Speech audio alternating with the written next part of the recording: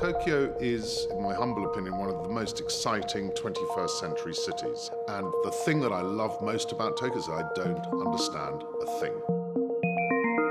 A busy, crowded city, neon lights, busy subway trains, wacky street fashion. That's all true, but I think there's a lot more to Tokyo than that. Japanese culture and Japanese aesthetics are extraordinarily alluring.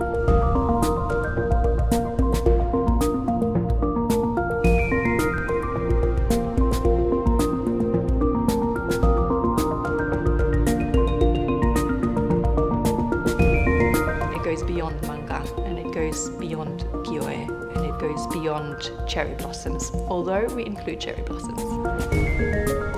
そういうことなんですけどね、うんだからまあ本当に単純に言うと欲望のスタジアムだと東京は僕にとって